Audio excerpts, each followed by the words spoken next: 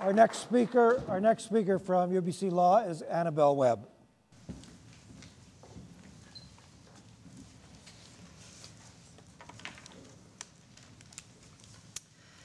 We're here to debate, not to debate, but to talk about the notion of abolishing prostitution and not legalizing it. Um, I'm, I'm usually in the easy position of making that argument in relation to teenage girls. Nobody usually questions that. They don't debate me on that point. If I say, well, let's abolish child prostitution, I don't think many would step forward to argue with me about that. My experience of working with girls who are in prostitution has been one of listening to stories of brutality and male violence. The average age of entry into prostitution, as was pointed out earlier, is 15. That's debated, you know, 14, 15, 16. But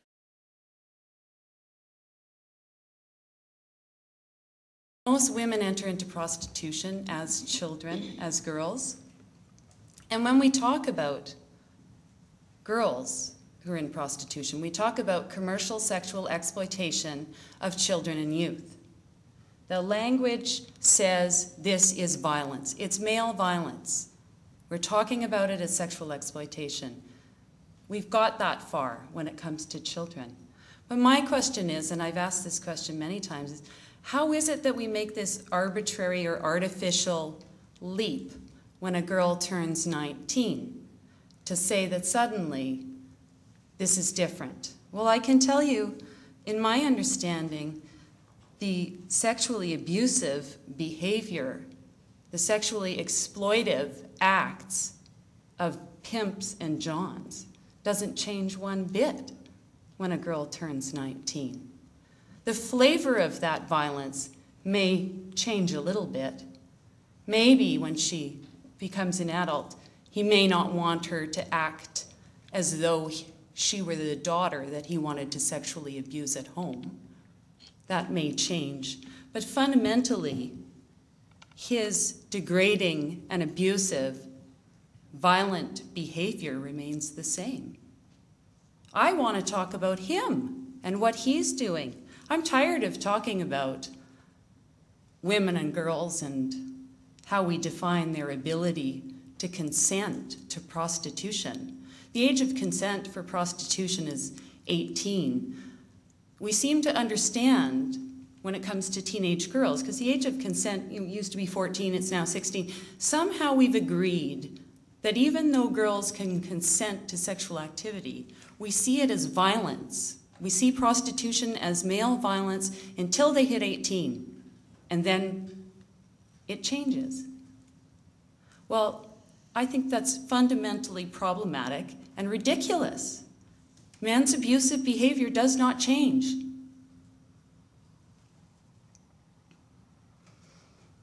The issue is about inequality.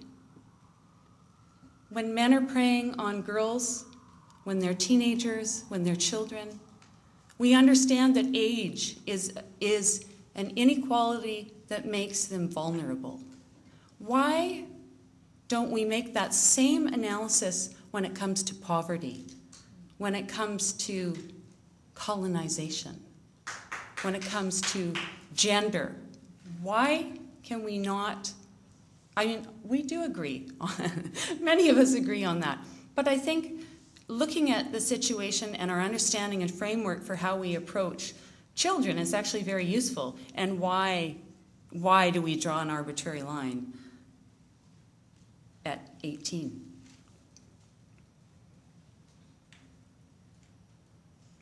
As I said, it's precisely women and girls' situations of inequality. It's precisely the vulnerability that is being exploited. That's what he's paying for. He is paying to dominate her. Dominance comes in many forms and can be achieved by in, in many ways. That is what he's paying for.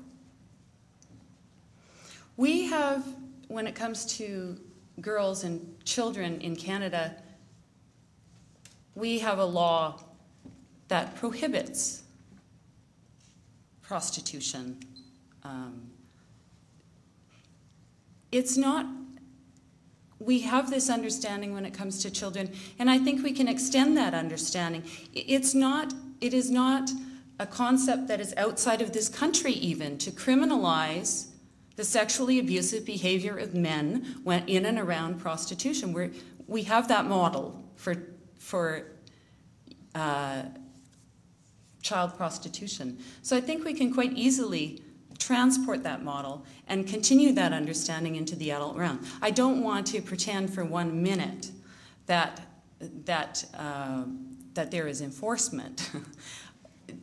Prostitution and sexual exploitation of children is absolutely tolerated in this country, and I want to tell you that in the year 2007, for instance, there were exactly 24 cases in the criminal courts in Canada.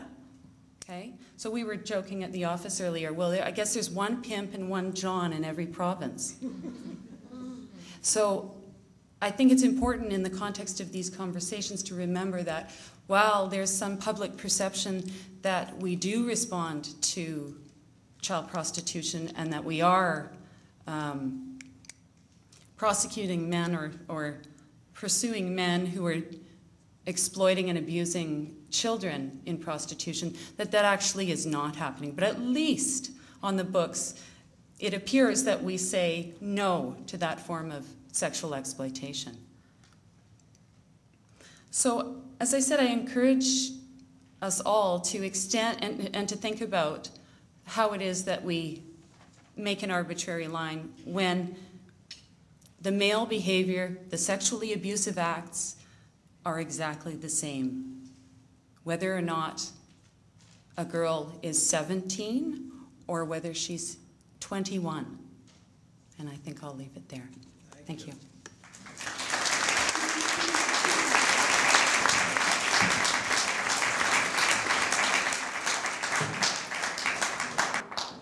And our last speaker before your participation at the microphone is Trisha Baptie of Honor Ministries and Eve.